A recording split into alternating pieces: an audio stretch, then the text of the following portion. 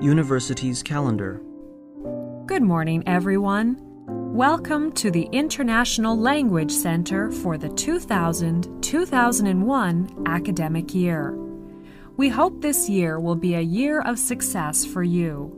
Now, let me give you a quick rundown of our calendar for the first quarter. The orientation for new students will be held next Thursday, August 31st. September 4th will be our holiday, that is Labor Day, so there will be no school on that day. The first day of class will be on Tuesday, September 5th. About one month later, there will come another holiday, Thanksgiving Day. That's October 9th. There is no school on that Monday. November 9th will be our last day of class. That's Thursday. The following day will be exam day. Please remember that's November 10th and be prepared for the examination. I'd like to tell you that regular attendance at this school is necessary in all classes and lectures. We expect at least 90% attendance. Attendance is taken by each subject teacher.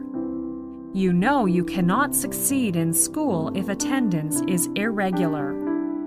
Absences of 20% or more will result in students being placed on probation for one quarter. Continued absences may result in the student being required to withdraw from the school. It's our expectation you will all grow to realize your full potential and contribute your talents to this year's activities. Exercise 2 About the coursework. Hello, everyone. Before you start your course, we would like to tell you a little about the background of how the course is designed. You will have an opportunity to discuss the emphasis you would like the course to have in the first two units. We are confident you will benefit from the course if you can agree on what is important to do and how you would like it to be done. The emphasis of this course is on observing how native speakers use English, describing how the language is used, discussing difficulties, and practicing the language as it is really used. Much of the material, particularly in the second part of each unit, may seem simple from a structural and vocabulary point of view, that is. The emphasis, however, is not on knowing nor even understanding such language, but on being able to use it yourself. This course is not for those who want to know something about English, but for those who wish to use it effectively as a means of spoken communication. The following assumptions are made throughout the course. 1. It is possible to study the spoken language, and this is in no way inferior to the written language. 2. Some students find grammar rules helpful, others do not. But nobody finds rules helpful which are full of exceptions. 3. It helps to learn more words, but it often helps more to learn to use those you already know more effectively. 4. At your level, discussing the language and how it is used is an essential element in learning. 5 it helps to use authentic materials. This course is not for those who want to know, but for those who want to use the language. The most important objective of the course is to help you to be yourself in English. Exercise 3 Being involved in campus life. Good morning and welcome to our regular lecture on being a confident student. This series of lectures is organized by the Students' Union, and we want to help you to cope well with the life on campus.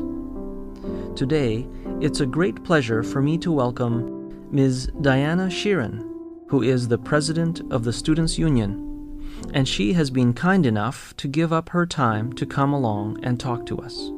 Thank you. Thank you very much, John. May I say it's a pleasure to be here. Now, I know being away from home and having to look after yourselves can make you feel homesick and give you a hard time. So, today I'm going to talk about the ways of making sure that you get involved in campus life. This may help you cope better with your study and life on campus. To become more involved in campus life, use your college's resources, which include places to go for help, people who can help you, and publications that can help you. Your instructors, academic advisors, counselors, department heads, resident advisors, coaches, and club sponsors are among the people you can ask for help. Become familiar with the services your college provides and know where to get them. The Registrar's Office answers all questions about records and grades. The Career Center can help assess your interests and skills. The Guidance Office offers help with course selection and scheduling and may offer personal counseling as well. Learning labs and libraries provide equipment and learning resources to help you improve your skills and meet course requirements. The Financial Aid Office handles questions about fee payment, scholarships, loans, grants, and jobs available on campus. If you need more instruction than you are getting in the classroom, your college may provide a tutor. Exercise 4 The First Year Undergraduates. Two students are talking in the students' canteen. Is this seat taken? No, May I sit here? please do. Are you a new student? Yes, I'm Marty from Korea. I got here only yesterday. I'm Alan, uh, second year in law. Nice to meet you. Nice to meet you too. Alan, could you tell me something about the first year student's life here? Okay. You know, the first year student's life can be exciting but terrifying for the first week. Why is it terrifying? Oh, many first year students will feel very homesick for the first week since this is their first time away from home. By the way, do you live on campus? Yes, I live in a hall of residence. That's good. Living in a hall of residence soon helps you to make some new friends. You know, the university always provides accommodation to the first year students. They may move out into a rented room in their second or third year, or share a house with friends. I see. That's reasonable for the first year students so they don't worry about their accommodation and transportation problems. That's right. During the first week, all the clubs and societies will hold a students' fair, during which they try to persuade new students to join their society. Oh, I heard about that. I expected this kind of fair.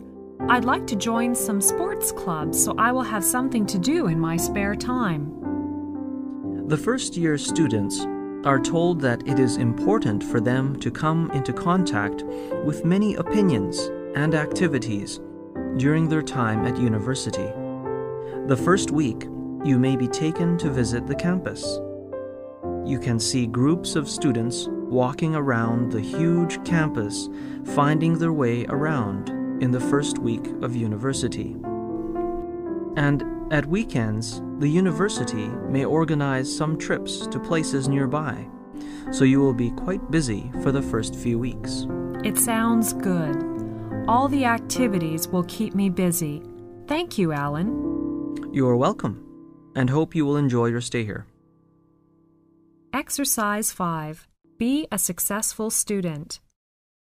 Today, I'd like to talk about how to be a successful student. First, you should discover who you are and what you want to be. We all have our own personalities, qualities, character, and relationships. All those things together make us who we are. It's time to ask yourself what kind of a person do you want to be? Shakespeare said, The world is a stage, and we all play different roles. Well, what roles do you play? A student or a teacher? Musician or doctor? Write your roles down. For each role, what are your responsibilities? Then ask yourself, what would you want to do? And what would your future look like? How do people get what they want? How can you make your dreams come true? One thing to do is to set a goal and make a plan to achieve your goals. We all know that good things don't happen overnight, but you have to be prepared. You might just have to work hard to make it happen. Remember, you need to make a plan for your goals. Write down your short term goals and break them into weekly goals so you know exactly what you need to do each week. You will be surprised how helpful this can be. Some projects are small and can be completed in a day.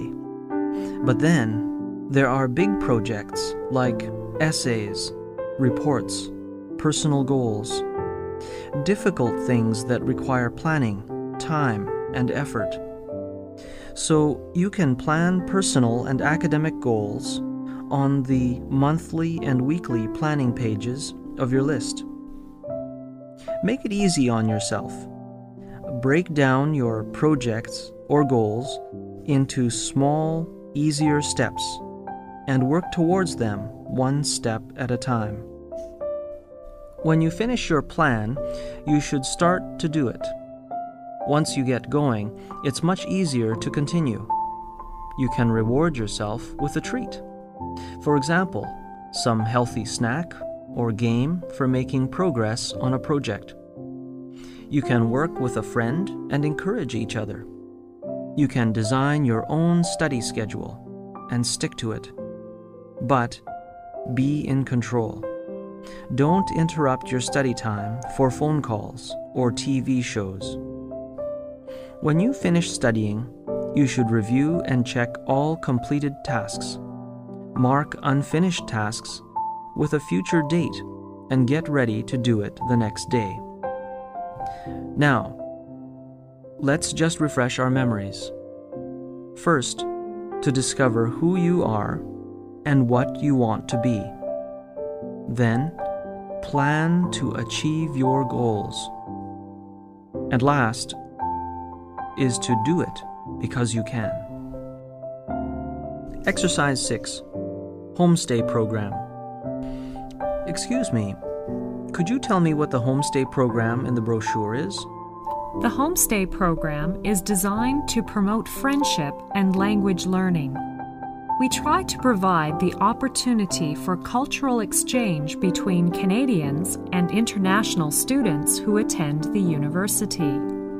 Local people open their homes to students so that they may experience an exchange of friendship across cultures.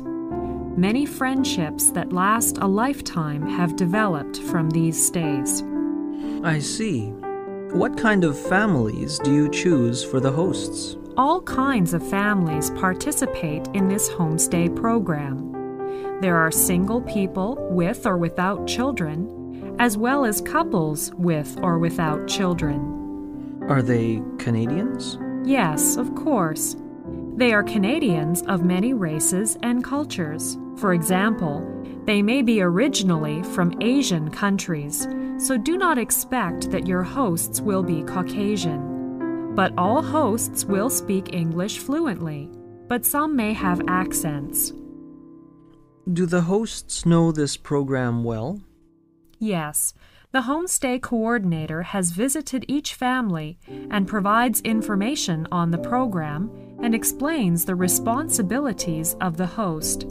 They look for people who are kind and friendly and enjoy meeting students from other countries.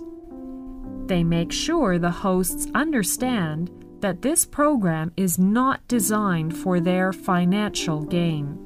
It sounds good. If you are interested, you can apply for this program. Here is some more information to help you understand the program. What is it? You must be willing to communicate with the hosts to establish a good relationship with them. This communication will require honesty, patience, and effort because cultural and language differences sometimes create misunderstandings and confusion. You must be willing to interact with the hosts. That's what I expect to do. Good. The hosts will be concerned about you and will want to do all they can to help you achieve success. They will encourage you to discuss your thoughts and feelings openly with the host family.